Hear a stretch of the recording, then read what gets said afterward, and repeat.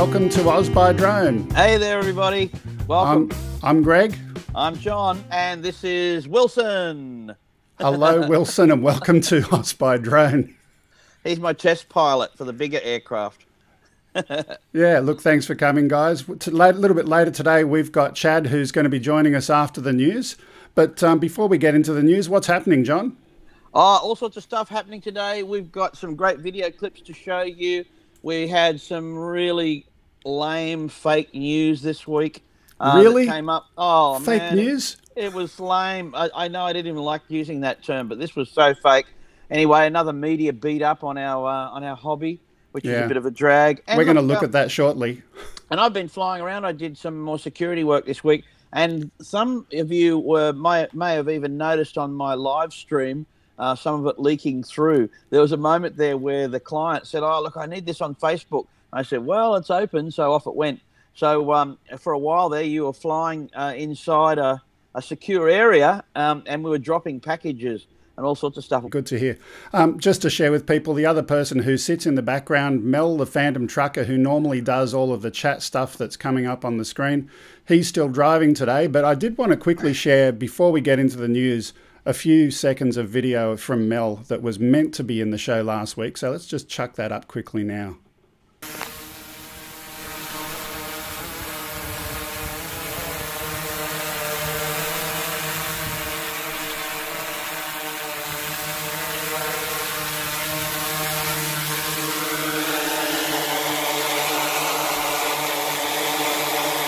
So this is Mel coming in for a landing with his Inspire, but um, Where's the audio for that? I, I sense something's going to happen, but I don't know what. No, he actually brings it in, and nothing happens. Oh, so okay. the comment the comment on this was, um, I'm trying to find the audio for that. One, two, three, four, five. There we go. one of the one of the rare times an Inspire lands normally is that that what it might be. yeah, look, we had Bill the drone reviewer on last time, and um, he was there for this he was there for this footage, and um, he said, "Look, he's one of the best pilots I've seen. It's narrower apparently than it appears to us looking at that video." Ah, I get it. Yeah, so very narrow area, and um, you know, Bill just wanted to comment on that last week. But anyway, that was last week. This is this week, and we're going to hit the news. And speaking of news, as always, our news comes from a website wiki that's created by a couple of people. So we've got Greg Hilton, and we've also got the news coming from, and I forget names every week, and I'm getting laughed at. Jeff Sills. There, there you go. go. So Jeff, um, Jeff predominantly builds the uh, the news wiki, and um, we pull down the information from there, and um, certainly we get some Australian specific content from Greg as well. So thanks to both of those guys for doing that. Good stuff. So let's get into it. So we've been making news ourselves. Now, a current affair, they did a story and we did a live stream um, at the time that they were going to air and we were talking about their content. Um, yesterday, or the day before now, it was Friday our time. Yep. Um, Ken Heron did his regular show, and um, this featured. I was a guest on Ken's show, and I've got a little clip from that that I want to play first, and then a short clip of my own. Now, I'll, um, I'll let you come to your own conclusion about this, guys. Here we go. The ACA clip. Enjoy this, Greg, and everyone else. Where is that pervert with the drone? Oh, I'm just trying to do my toenails here. Now I'm in my bikini. Oh, the darn drone.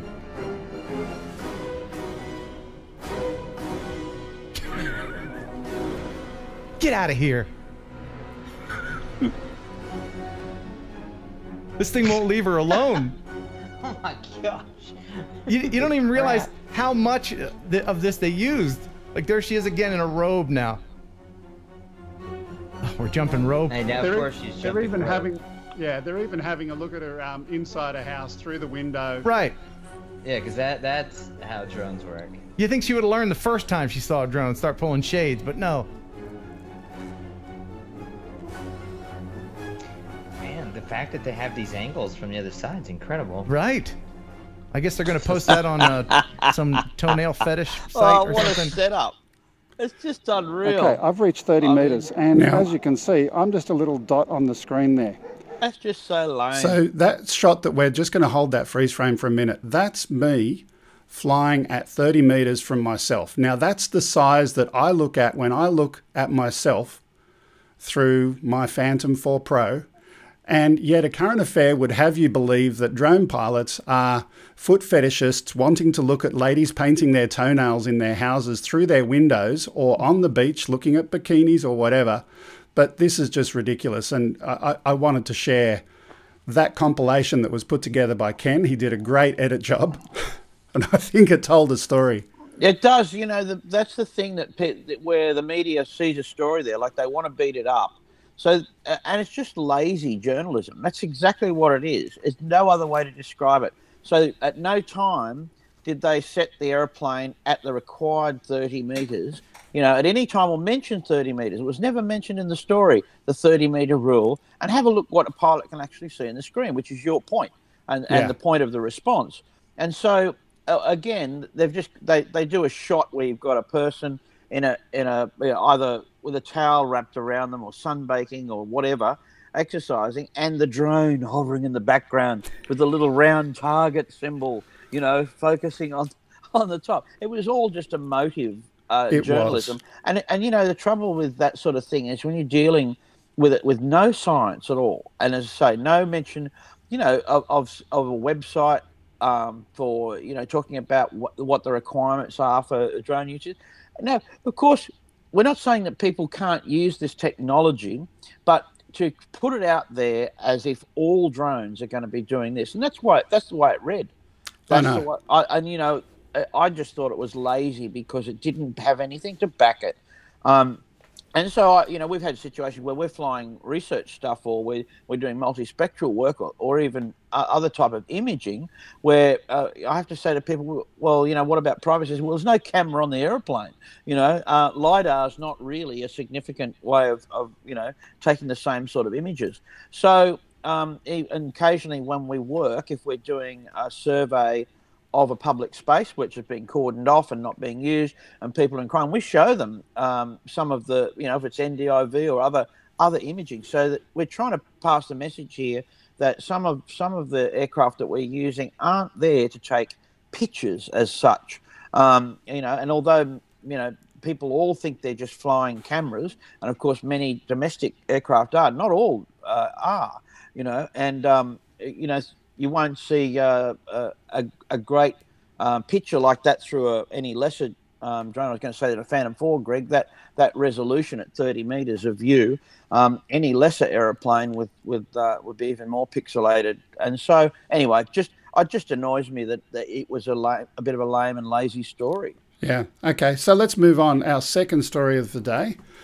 Um, this one's interesting. So it's a different type of um, quad called a whisper drone. And I'll just press that. There we go. Let's bring up the whisper.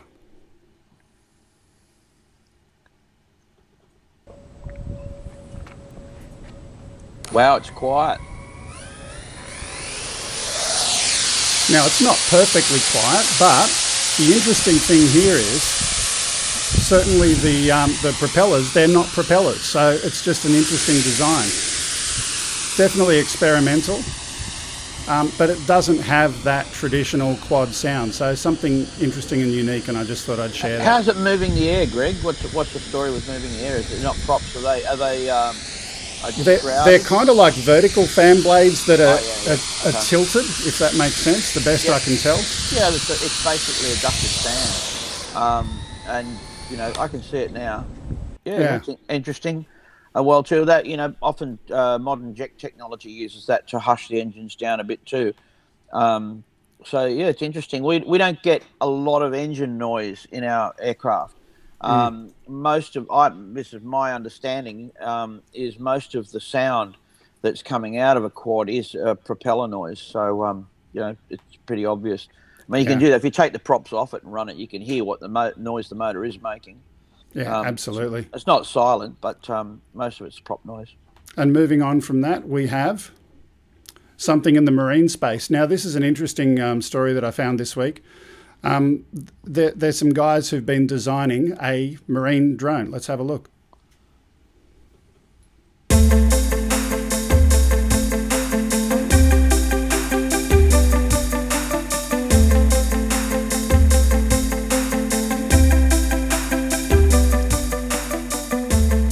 Just having a look at their diagrams and so forth, they've got Raspberry Pi, they've got Arduino.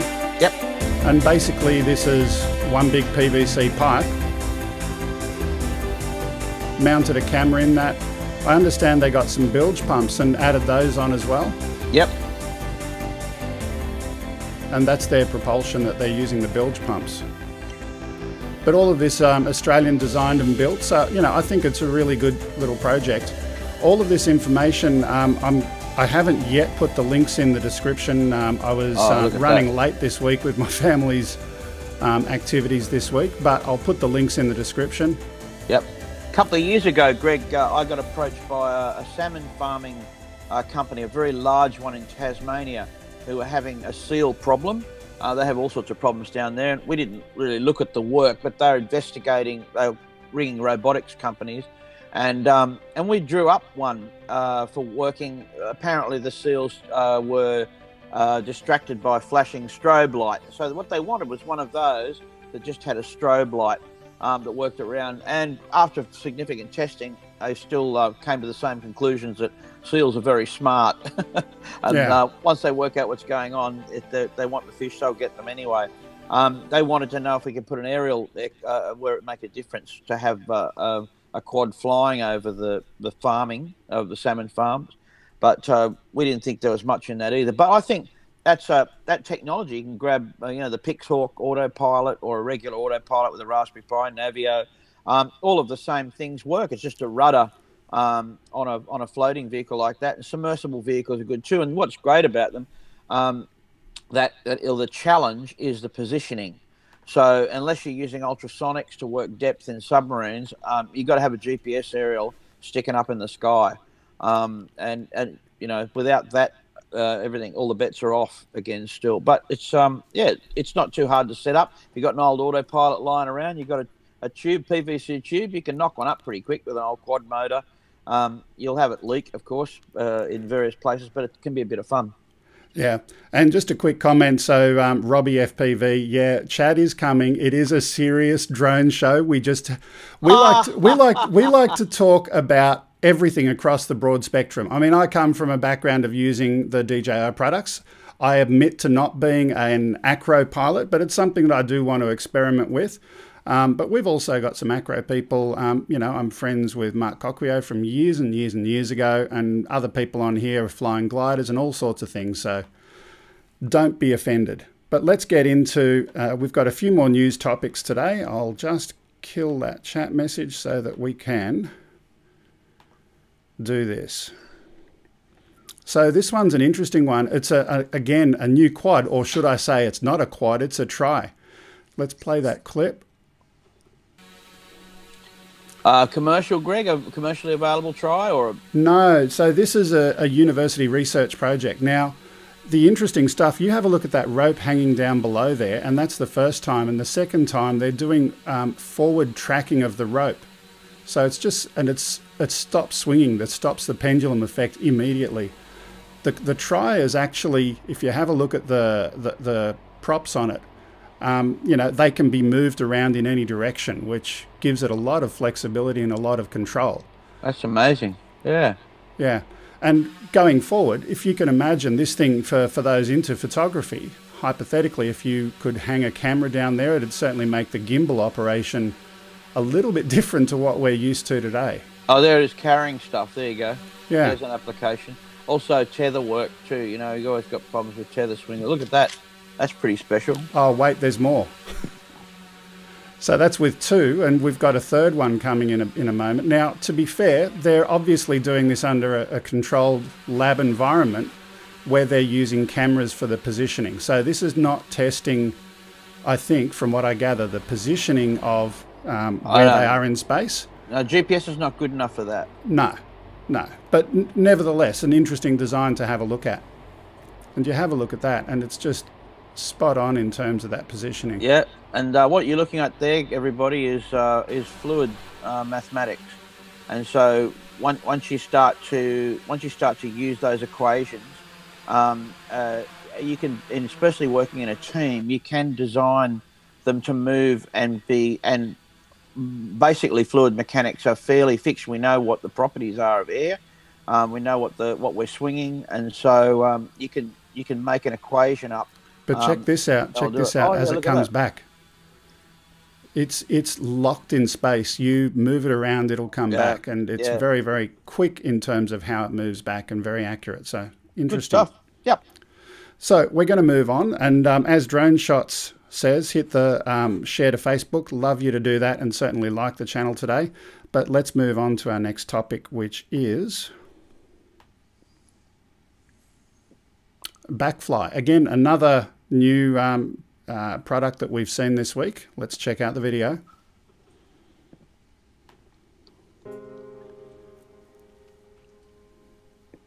Yeah, this is the one we want. Have you seen this one yet, John? Yes, absolutely. Yeah, yeah. I, I, watched a couple of I watched a couple of development videos of it. Uh, you know, it, uh, for all its cleverness, um, it, it looks clunky. Some of it. Um, I got to, and I, I'm, I'm trying to decide whether the landing on, on its belly like that is clever or or clunky. I mean, I think it's a fantastic machine, um, and the way they sell it, you know, is that it'll cost as much as a regular, normal sort of SUV, and it's a single seater and all that sort of stuff. It, has got a lot of marketing wrapped around it. Of course, tilt rotor, um, uh, again, is certainly a really efficient way to have uh, wings on a on a quad um, and a vertical lift. That's for sure. Mm. So uh, you know, I think you're going to see a lot of that kind of stuff out there, but they're going to push it to market. That'll be great. Yeah, the machine. Absolutely. Look, interesting product. So as we move from that, we've got the world speed record. Oh, that'll be interesting. Um, let's go and have a check out of that.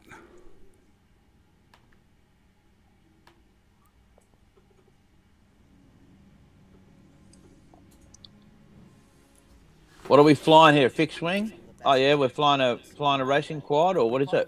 So I'm just reading the material here. World record drone speed broken at um, this particular event. X-Blade and Wings Copter teamed up to put together the fastest drone in the world to break the Guinness World Record. The Guinness World Record has to be done with two runs of 100 metres from either direction within the same flight to ensure that the wind is factored in and the average of the speed of both runs is taken. Right, we'll we modified uh, the motors to get the maximum amount of speed. There are so many things that could go wrong. Uh, the ECs can overheat, the motors can blow up, the wings can break if Luke is going to push it too hard or push it to the limit, going in too fast. A lot of things can go wrong.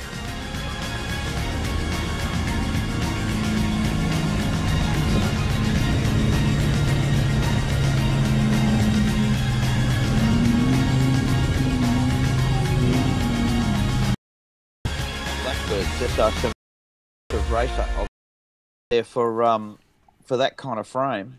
Okay. Did it have um, wings on it? Did it? I saw it, one of them had wings on it. It did indeed. Yeah. So your props are, are not uh, horizontal in any way. They're obviously, uh, you know, they're, they're either tractor or pusher to get those sort of speeds.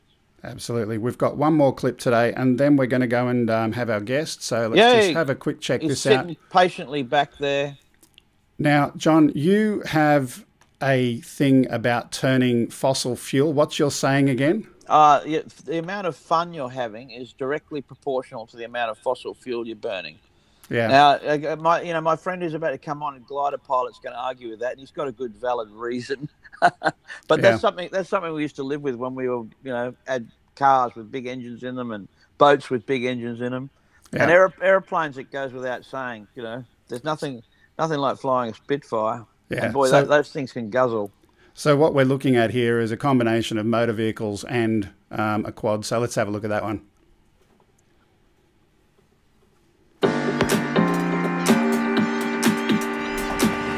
Stop. Uh, pause? Right. Yeah, pause at that. Sorry, man.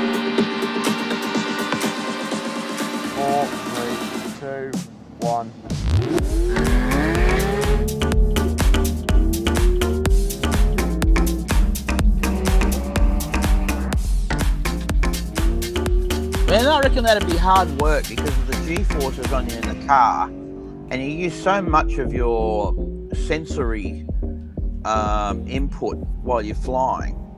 Um, it'd be, it'd be something you have to practice. I don't think you can do that straight away. Yeah, I'm, I'm just trying to imagine that. You know what I mean? As you're in the goggles, so you're seeing what the airplane's seeing, but you're feeling what's in the car. It'd be hard, some hard work in that, I reckon. I've never tried it, so I wouldn't know. Chad might have tried that. I don't know. Working, I, we talked about doing it from a from a helicopter, and that wouldn't be a problem because it's not the same G forces. Anyway, yeah. so like speaking of stuff. so speaking of Chad, we get to that point today where we've finished our news for the day, and let's bring in Chad. All right, hey, Chad. I'm going to go and sit on the side, mate. I'll see you later. All right, go have some fun, mate. So, welcome, Thanks, Chad. How you doing? Uh, I'm doing good. I was sitting there uh, watching your news reports, and it was, it was it was quite interesting. So, the the speed the speed record flight and uh, driving with the car that was my good friend Luke uh, and I know all the X Blades team guys quite well. So uh, haven't seen them in a while because they were all the way over in Europe, and I'm over here in Australia. But uh, yeah, it's good to see my old friends doing fun things still. Yeah, absolutely. So, Chad, um, this is a different world. So, what I wanted to do is start with where did you come from in terms of you know your aviation background, and I've pulled a few little videos. Let's just play the first one in the background while we chat. Yeah, um, I've been one of those guys who my parents said when I was a, when I was a toddler, I'd look at planes flying above me uh, and just stare at them, and I was always fascinated with aviation. Uh, and uh, lived out in the country, so didn't really have much to do with planes. The only time I saw planes or aviation was when it was flying high over my head. And when I around sort of teenager years, I got into model aircraft. Started with control line uh, powered aircraft, and then got into remote control, but started off uh, flying a uh, gliders because I couldn't afford the, the engines and so forth, and I figured that was a cheap way of getting into it. So and, you're saving money and just avoiding the engines. yeah, pretty much. Yeah, uh, it, it was a it was a step in the direction that I wanted to go, and what I realized pretty quickly was I actually really enjoyed the the challenge of soaring. So um, I got into powered aircraft and enjoyed enjoyed that, but I found that I enjoyed the gliding side of things more. So for many years, I was I was flying quite seriously uh, competition F3B, F3J, open thermal style remote control gliding competitions. And then a friend of mine said, "Hey, I want to get into full size gliding. Do you want to learn to fly gliders with me?" And that was all the excuse I needed. So got into full scale aviation uh, in gliding and once again, uh, flew. I never got my PPL, my powered license, but um, flew a, a, reasonable amount of powered aircraft, but just found more joy in the challenge of of soaring uh, because I like a challenge. Okay. Uh, and and stuck with that, and I, and I, I flew gliders for twelve years or ten or twelve years or so before I got back into models again because my my eldest son was getting to the age where it'd be a good time to share it with with dad and we got some sticking goggles on and flying through windows and i went oh this is really cool. And that was about 2013 and so I used my son as an excuse to get into uh, drones and what's become mini quads uh, and turns out that uh, i'm a bit more addicted than he is and uh, my life has kind of been taken over. And since about 2014 or 2015 was when I quit my regular job, and I've basically been involved full time uh, with um, drones ever since. Yeah. Okay. So speaking of drones, so I was trying to have a look back through some of your early videos, and this is the earliest video I've, I've i could find of you. Um, yep, and tricopter from uh, a YouTube channel called Flite Test. Fly, my pretty. Um, and Be thoroughly free. enjoyed flying uh, tricopters for a while and that was my first quadcopter that I ever got, and the, the difference oh, yeah. in performance was extreme to say the least.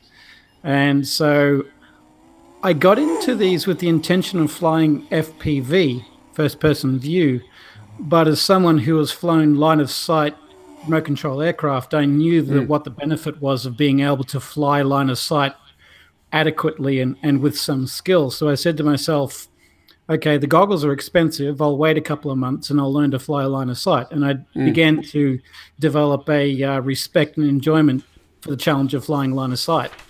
Uh, and then progressed onto FPV and, and sort of went from there. And and it's a topic we, we spoke about last time. We were we were talking about your first drone from the perspective of someone who is not getting into the racing scene, and we talked about that. Tell me about what would be a good first quad to get um, that's not going to require an engineering degree to build. Yep. Right. Where would yeah. someone start?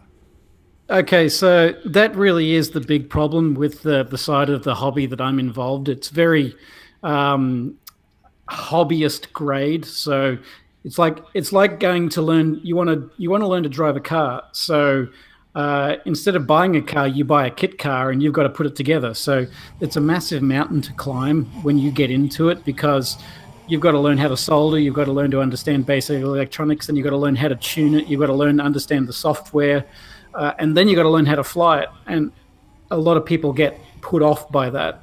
But there are a few uh, what we call ready to fly quads out there, which the, the quad is already built. All you've got to do is just connect the radio, uh, charge the battery, and go and fly. Uh, and to answer your question, something like a Immersion RC uh, Vortex 230 Mojo oh, yeah. is a very good first um, first design um, ready to fly quad, which means you don't, like you said, you don't need an engineering degree to be able to oh, put it together. And a lot of people don't want to fiddle with that at that hobbyist grade. They just want to go and fly. And yeah. something like that would suit them perfectly. The the downside, of course, is eventually you will crash. Eventually you will break something, and you've got to learn eventually at some stage how to repair it. So it's a question of whether you learn straight away or you learn after you crash it. Yeah, absolutely. So I see there we've got um, Ken Heron um, who's joined us in the chat room, which is really cool to have Ken here. But um, Ken, you've got to really get into the racing stuff. You've been promising it for a long time, so I'd love to see you doing some more. I think I saw a video you uploaded earlier today, but we'll we'll have a look at that another time. But so you got into quads, and then you've gone to a few places. I've got two more clips that I'm going to quickly put up from um, from you, Chad. So the first one is in um, Hawaii. Yep. Well, it it all started off as just as a hobby for me. I was just because I love aviation. I, I love videography, so I, I would make videos when I was flying gliders and so forth. And what I liked about drones was that I liked the carefree nature of a remote control type of craft. You didn't mm. have you sitting in it, so you could do silly things and get away with it. But I liked the freedom of actually being in a full size aircraft because the, the view was so much more amazing and, and it was a different viewpoint. But the problem with the full size aircraft was, oh, I want to go and fly between those two trees or go underneath that gap. And you couldn't do it because your life was at risk. So mm. the combination of FPV and the drone brought those two aspects of aviation that I like together. Strap a strap a camera to it, and all of a sudden now you can record some amazing things in a, in a way that you that you normally couldn't do. So mm. With my love of videography, and I just I started because it was what I was doing. And the more videos I made, the more people would sort of comment and like my videos. So I started getting a we're having um, a little bit of internet issue with yourself there, Chad, today your audio's frozen. But um, look, some beautiful footage. While we're waiting for you to come back, we'll go and play the next one, which was taken at Chernobyl. Yep. Sorry. How, how am I now? Back again? You're back again, yeah. Okay, yeah. Sorry. Bad internet. Well, thanks very much, Australia. This but, show um, is proudly sponsored by Telstra and the NBN. I don't have the NBN, I've got Telstra, but no matter which one you get, it's going to have some fun in Australia. Welcome. Exactly. Yeah. No, I um, like I said, I, I, just took this as a bit of a hobby, having a bit of fun. And the more videos I made, the more people watched my videos, and I got a following. And then um, I had some of the companies that made these products that I use say, "Hey, we'll sponsor you with products if you um, if you put our logo on your video." So I thought, okay, cool. My my hobby is being paid for. Mm. And then uh, around 2015, the whole racing scene started uh, uh, popping up, and one of my sponsors said, "If we pay for your plane trip, will you go to the like the first unofficial World Championships over in America?" And I went, "Okay, cool, free trip, have a bit of fun with my friends. I get to meet all the people on the internet that I've been talking to for years. Sounds like a good excuse to go and have fun." So I went there, and I didn't take it too seriously, and somehow by luck I managed to win absolutely every single part of the competition and go away as the, the world champion. Uh, and mm. that's when it all went kind of crazy. And I just started getting invited to all these different trips all around the world to sort of help advertise things and uh, joined up with various people on YouTube and basically spent the next two and a half years just touring all around the world to different crazy locations, like is on here now. We mm. went to Ukraine and we visited uh, the Chernobyl nuclear um, nuclear um, uh, accident site and uh, I, I got to do some amazing things and go to amazing uh, locations that I would never have been able to. So uh, I've been able to uh, sort of have a, a, midlife crisis and go and just do crazy things, and I'm very thankful for that. Yeah. Look, it's absolutely beautiful footage, and um, it's it's really um, you know a great thing to say. We've got some Aussies that are, you know, traveling around the world flying like this. So congratulations in being an Aussie and being at the head of the pack. Well, I've long since retired from all the racing. I just don't get into it anymore. But our sort of our defending world champion is still an Aussie, young Thomas Bitmatta, who lives down in Melbourne. He sort of he took the reins from me, so the Australians are still out there representing like they uh, like they do in, on the world stage, which is really good to see. Yeah, absolutely. So let's um, let's flip back um, to you and me. We'll um, have a look at some other video later. Um, let's talk about something else. We we we had that live stream recently, the current affair thing, right? So tell me, you saw the news clip at the beginning. Tell me your reaction. Yeah. It's the same reaction when I see anything from one of those sort of current affair style programs. Uh, all of it is is just scare tactics, propaganda. There's no real facts. There's nothing really helpful in those shows, and people that take those shows seriously um, really need to have a have a closer look. Uh, mm-hmm. At the end of the day, there was nothing really that factual about what they were doing, and they were leaving out some important information about the actual usability of drones. So, the inability to sneak up on someone, the inability to see someone with great detail, considering that uh, we use mostly fisheye lenses and we don't have uh, lenses that can zoom in apart from digital stuff, which uh, reduces the uh, resolution and is not usable anyway. It, they left out the simple fact that can you spy on people? Technically, yes. Can you do it in a practical way where you can see naked people? No, you can't. It's it's just not a practical thing. If I wanted to go and spy on someone, I'd have a lot better results in doing it two ways: either sticking a a, um, a, a handheld camera on a pole over a fence, or hiring a Cessna and, and flying around at 500 feet with a with an DSLR camera with a with a larger lens on it. Uh, what what they're saying that we're doing is completely impractical, not possible. But not only that, it just doesn't happen.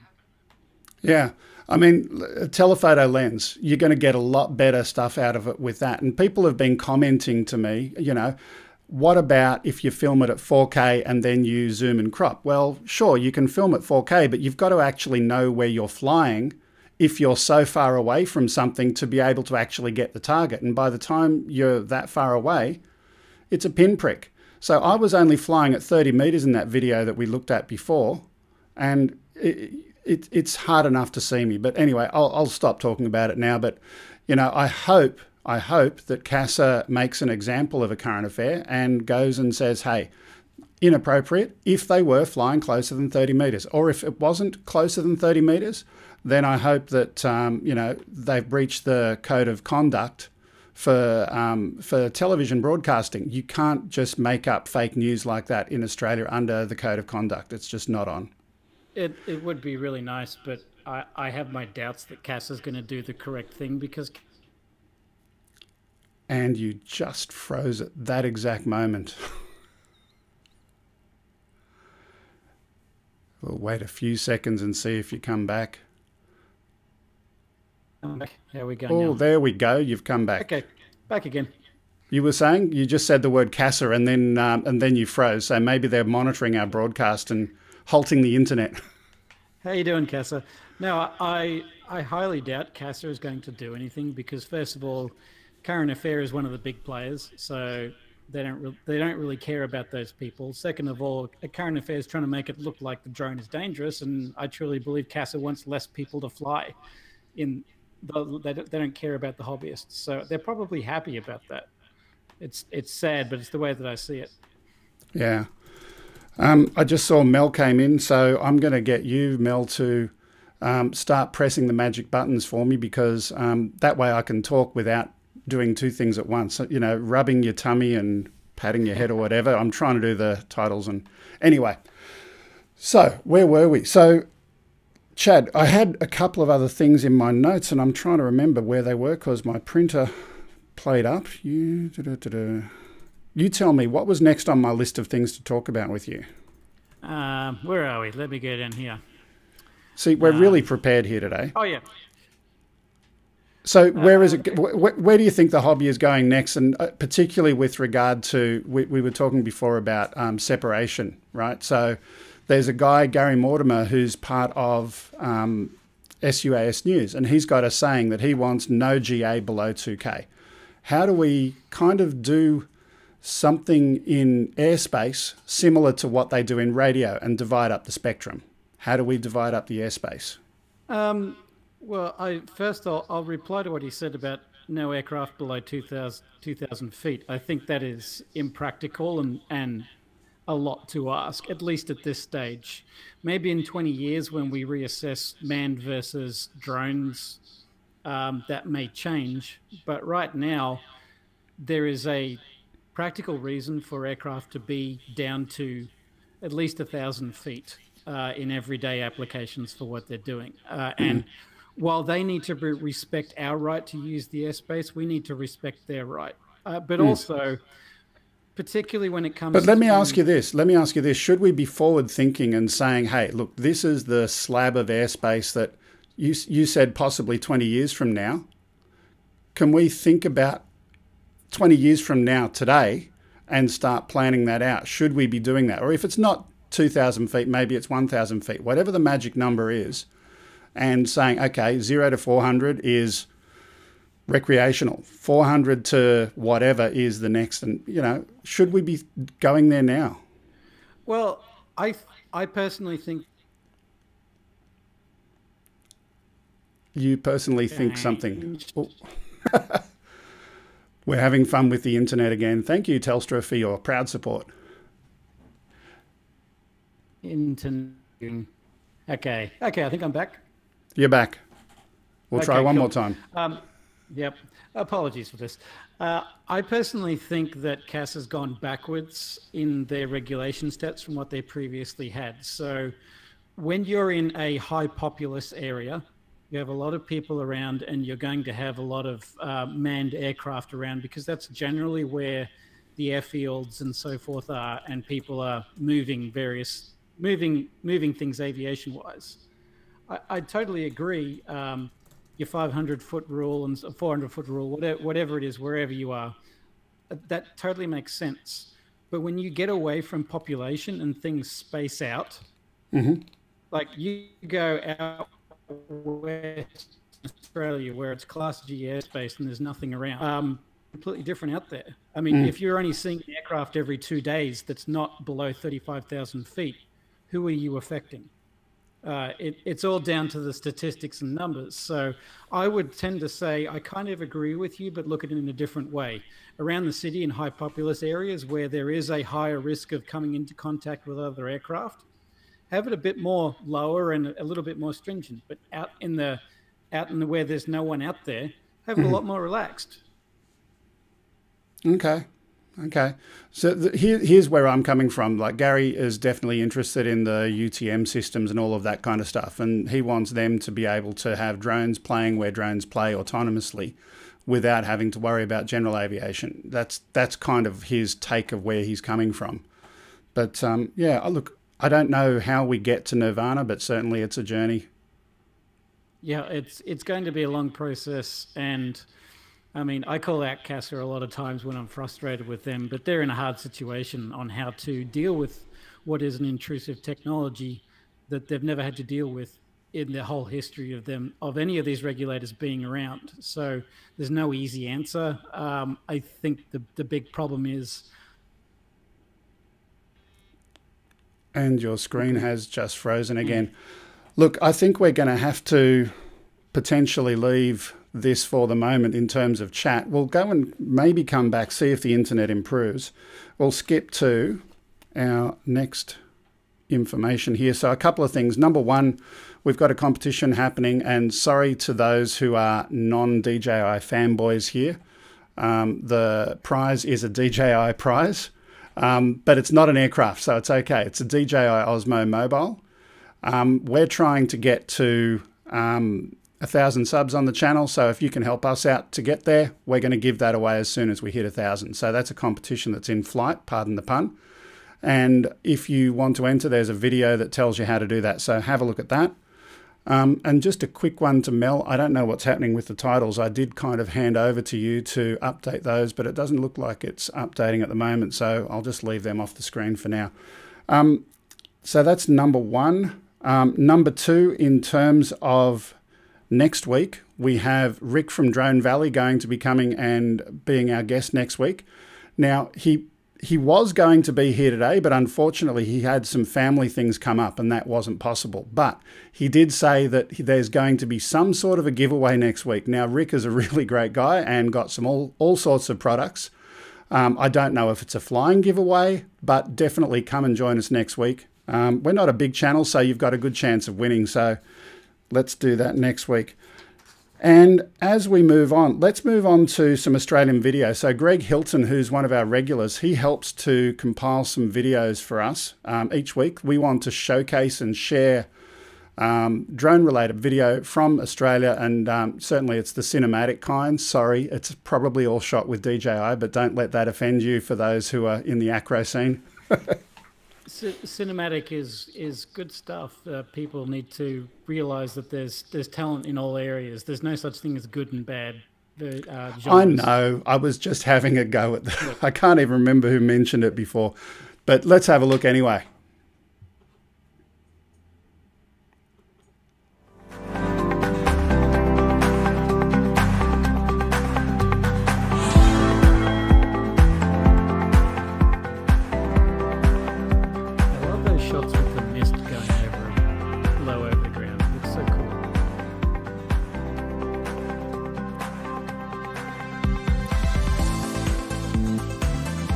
So each one of these videos that we're sharing today, we've um, contacted the people who um, created these and um, ch chatted to them on their channels. We're sharing their channel names on the screen for you as well, so you can go and support them. And later today, I'll put links in the description for the video as well. Now there's a little bit of insane flying there. that was definitely not a DJI product. That was from Malus Vex.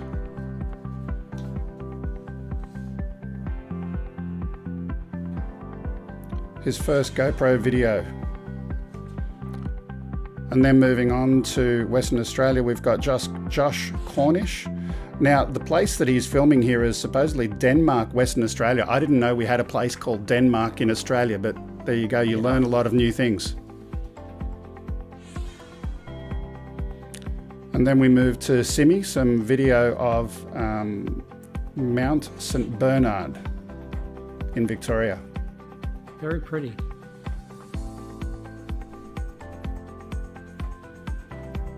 This is the one thing that drones do a very good job of, showcasing beautiful locations in a way that you'd never seen before. Then we've got Ruben here with some insane FPV at Flinders Ranges.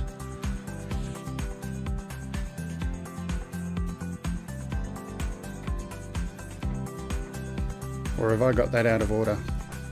No, there we go.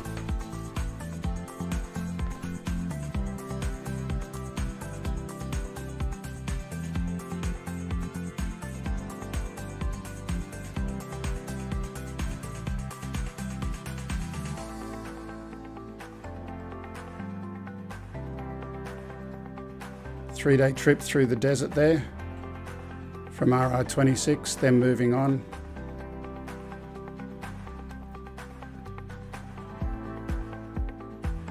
Just, just to share with people, Australia is, um, you know, there's a lot of parts of the country that people from around the world just don't understand how big the country is.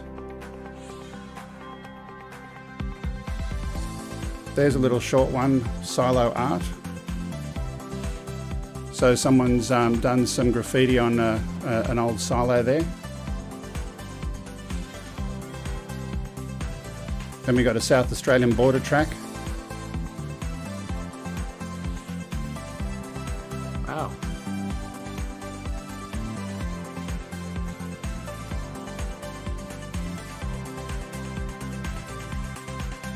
That one was RL26. I think I got them out of order before, but we're all good.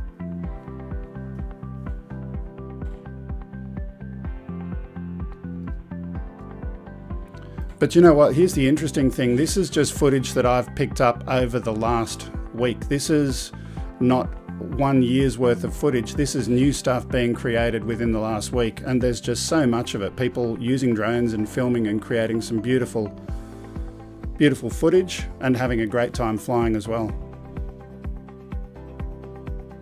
A lot of people are only just now starting to understand how to get the most out of what is just another photography tool.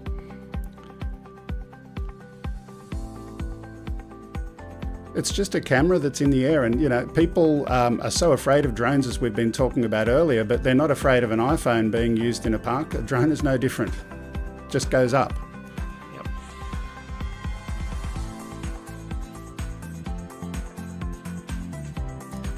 So this one is elevated views. I saw him in the chat room earlier today. I love the colour there, beautiful colour. Did you do any um, colour correction on, on that elevated? Does look like a bit of colour correction work in it. Very nice.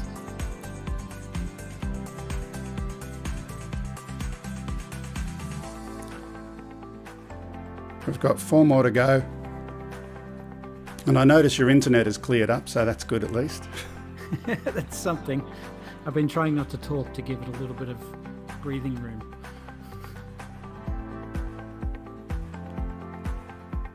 And again, thanks to Greg Hilton for um, you know searching for some new Australian content and putting this together for us. It's very much appreciated.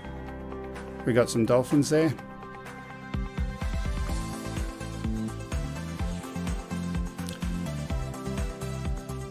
I just saw a funny comment from um, from Ken Heron. From this height, you can't even see the Australian bugs and animals that want to kill you. Well, you can see those sharks though. So sorry, Ken. Those animals do want to kill you. Oh no, those weren't sharks. They were dolphins. My bad. see, you couldn't tell if it was a shark or a dolphin. I'm having a chuckle. That'll be the next story for a current affair. Yeah. So we've got someone here who's doing some um, tree lopping. It's a, actually a tree lopper company that's doing some work. So they were showcasing that um, their work, but they also had some interesting Australian footage and just sharing with people these trees, Australian. It looks like a gum tree of some some sort. It's interesting the different perspective it gives to a job like that that you wouldn't normally see.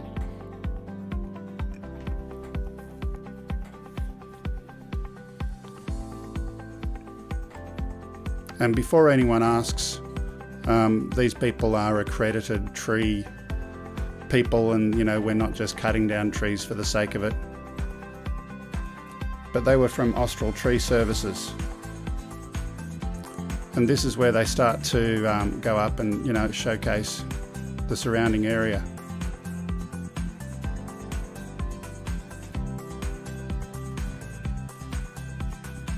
But I think it's an interesting use of drones. You, you, never would have thought of someone who's a tree lopper using a drone and they actually use them so that they can plan out their work when they're going and doing this work, um, you know, to know and plan it out. So good use. Um, I've always said with drones, if you can do it easier, cheaper, or safer, there's a job for a drone.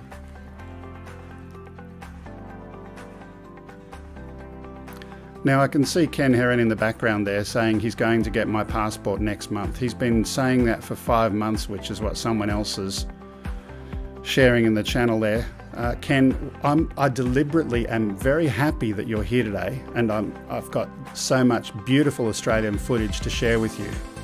So we're just holding it out there as bait for you. Ken, you're only getting older every single day. Get get your passport and go and see the world.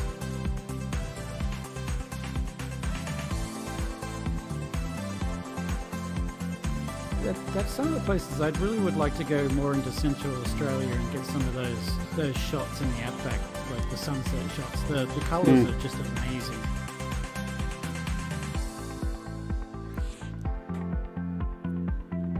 And there's our last one for the day, shot by Sky, which is the Baker's Oven at the Great Ocean Road, Victoria.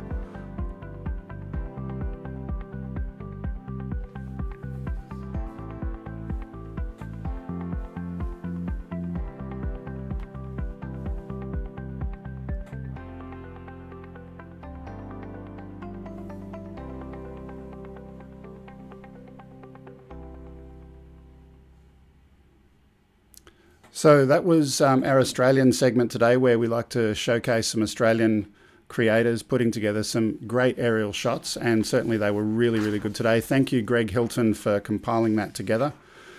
We're coming up close to the top of the hour. Um, as I mentioned at the beginning, um, John Morrison needed to disappear early today, so he apologises. He's um, going to a family birthday event, um, but um, he'll be back next week. And again, next week we're going to have um, we're going to have Rick from uh, Drone Valley. I almost forgot the name of the channel for a minute. Rick from Drone Valley. He was going to be here today, but he apologizes. Um, he had some family matters come up. So he'll be here next week. Prize will be given away next week. I don't know what it is, but Rick said he'll he'll have something to make up for his absence today. Chad, thank you very much for for being with us today. Um, it was nice to kind of mix the photography and the the racing slash acro scene together. So thanks for joining us.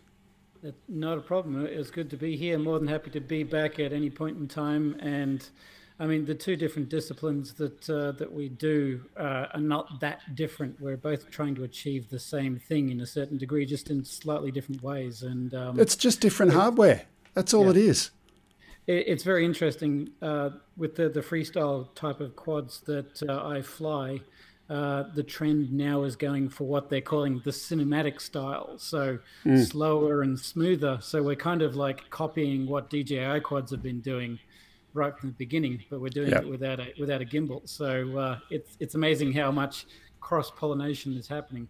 Uh, just before we go, I'm curious. Um, tell me, what do you think the future of the non-vendor quads is in terms of borrowing and stealing technology from the vendor quads? Um, it's interesting to see where it'll go because I think a lot of our technology has really plateaued. Mm. So things like propeller technology, we already know everything. Uh, especially when you're flying at slow speed, aerodynamics is not that important. Uh, the electronics and so forth, PID controllers and, and processors are not really bringing new technology to it.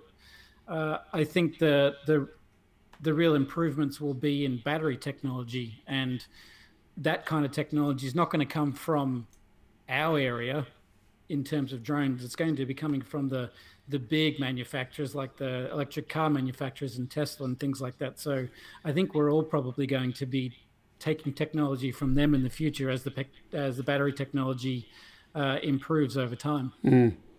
Yeah, absolutely. So um, we didn't have Mel doing the titles for us, but let's before we go have a quick look in the chat room. So Greg Hilton says, "Thank you, Chad." Greg is certainly the guy who put together that footage. So thanks again, Greg. No worries, um, Greg. We've got Ken Heron. You've got many years to go before the discount kicks in. I don't know what that topic was about. um. Steve is warning Ken about us driving on the wrong side of the road. I hate to tell you this, but at least our steering wheel is on the right side of the car. So, anyway, what else have we got here? I'm not going to get involved in that argument. It's an oldie but a goodie. It's an oldie but a goodie. Any any questions for Chad from the, the chat room before we go today? Perfect, really, Steve, but I haven't been out to be honest. Arden E was working with some tree climbers getting some footage with a mini quad. Ken saying, wait, he could use his seniors discount to come to Australia. Not sure if it works that way.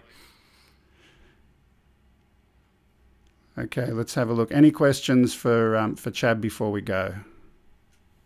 120 down under. Welcome to the channel.